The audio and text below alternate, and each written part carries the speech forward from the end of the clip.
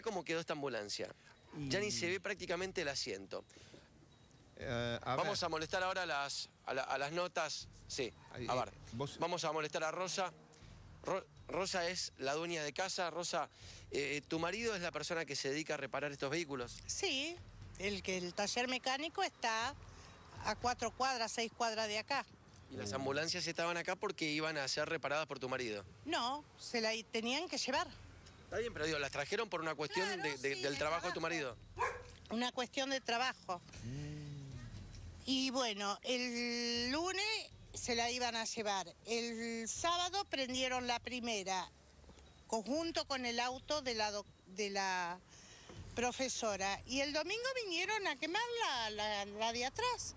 ¿No ves que hicieron en el asfalto un caminito? Querían mecánico, prender los tres vehículos el mismo sábado. Ahora, usted dice caminito. ¿Caminito de qué? Pero cuál, explíquelo. De, de, na- de nafta o de gasoil, no sé. O sea que rociaron un líquido y con ese líquido prendieron fuego. Sí, exactamente. Y si vos mirás el asfalto, el asfalto está marcado. Claro. Querían sí, sí, ahí prender los tres vehículos el mismo día. Ahora, Ahí hay em, vamos a tratar de descartar eh, posibilidades. Digo, ¿Su marido tenía problemas con alguien? ¿Alguien que le había jurado venganza por algo? Nada.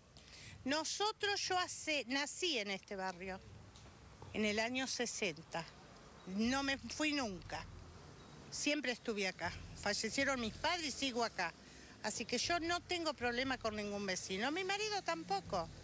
O sea que usted, ah, digamos, adjudica esto a la maldad y, a secas, digamos. Sí, yo pienso que es una persona enferma que se dedica o que Ah. le divierte quemar vehículos. ¿Y el- Por- lo- los videos quién los grabó?